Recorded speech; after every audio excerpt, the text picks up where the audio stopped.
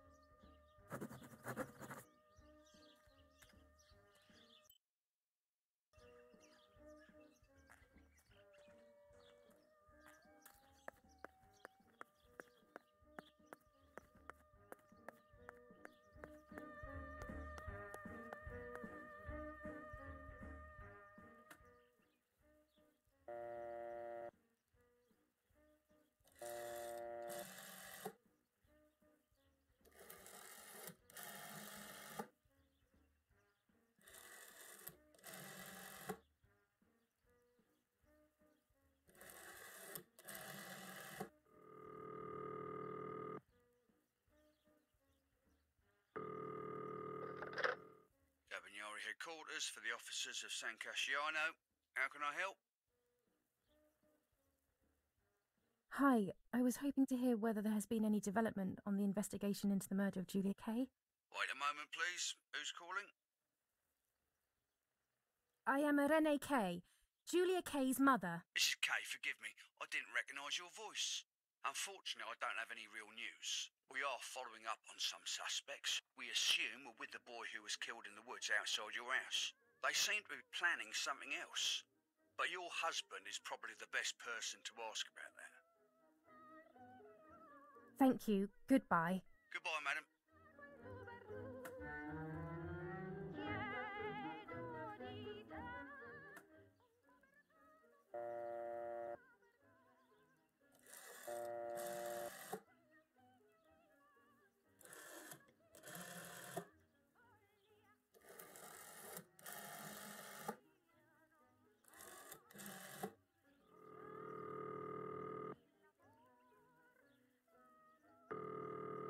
Not now.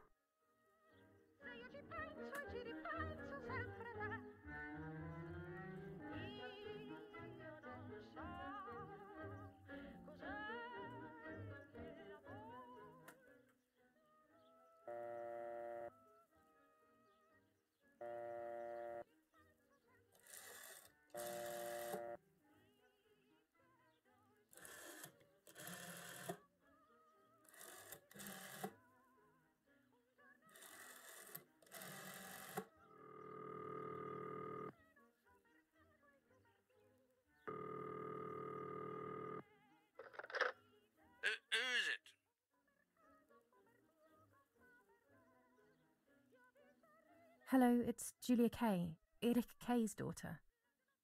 Yeah? Yeah, and what, what do you want from me? I'm sorry to disturb you. I just wanted to know if I can come over to see you later today or tomorrow. Of course not. Do not come looking for me anymore. Stop bothering me, you bitch. He must be going crazy. I don't believe for one second that Mummy would let him treat her this way. Sheer madness.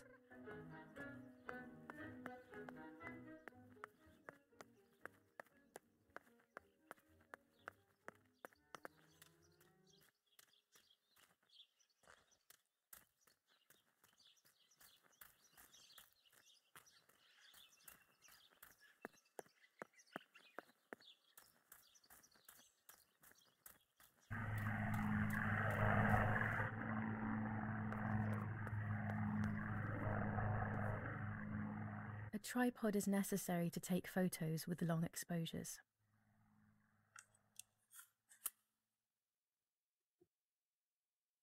I have found what I need to take infrared photos.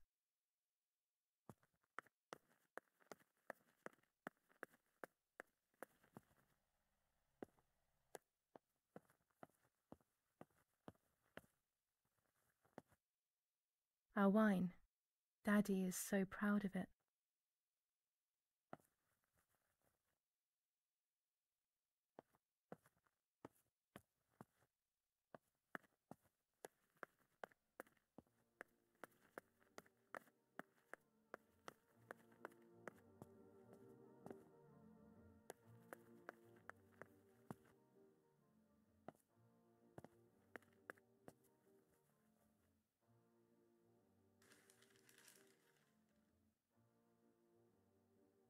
Even in Florence, the war is beginning to be felt. Supplies are starting to run out.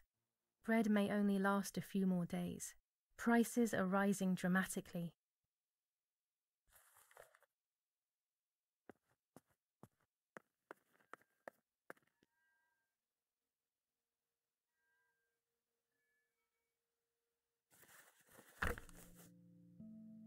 Now I know what must be done to meet the lady.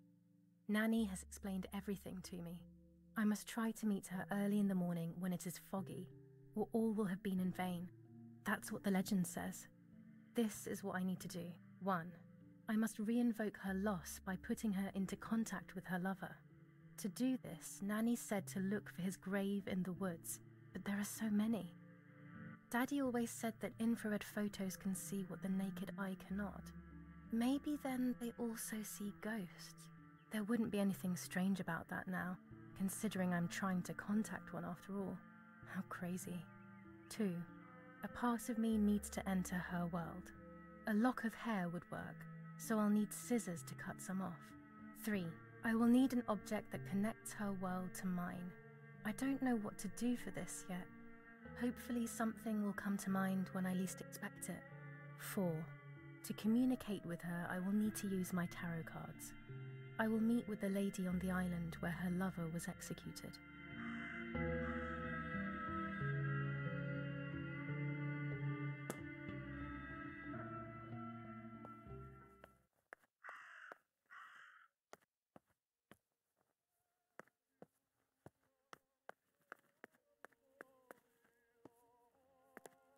That raven is making a big fuss.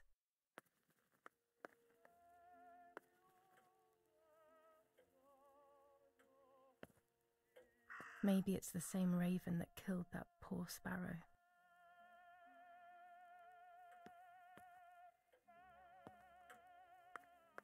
I hate bullying, yet it seemed as if the raven wanted to.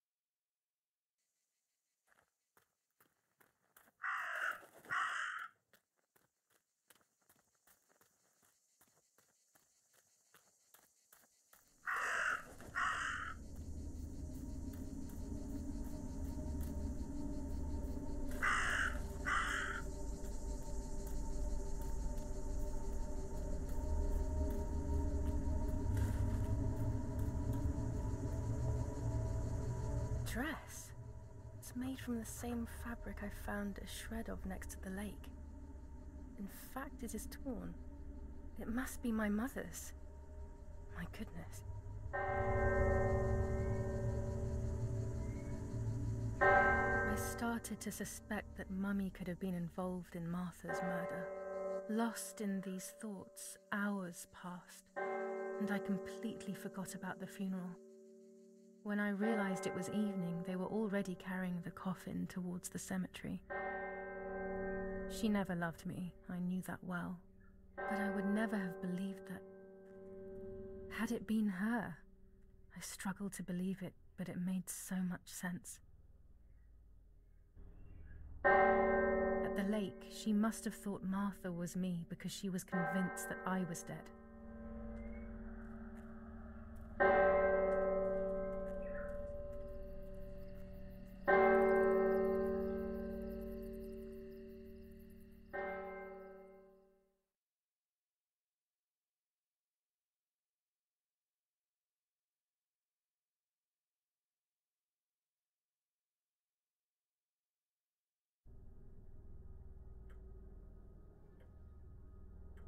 When the funeral ended, I felt an irresistible urge to play. I loved music. I started playing without thinking about the possible consequences. I didn't care anymore. I needed to feel alive, to exist again.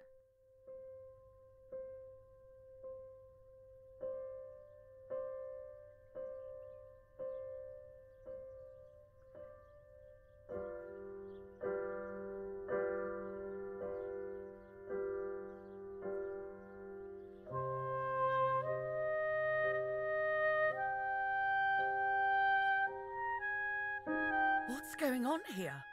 Giulia? Is that you? No, it's not possible. Martha's never played. She's deaf, yet. No. This is madness. My God. So, Martha? I understand now. You can get all of the attention, right? You were jealous, weren't you? Because she was a wonderful girl and, and you're just a useless little slut. How did you manage to convince her? I get it now. But she. she talked to me. I. I. No. It doesn't make sense. I will have you locked up in an asylum. You hear? That's enough. You will pay for what you've done, you cursed lunatic. They will torture you to reveal the monsters in your head.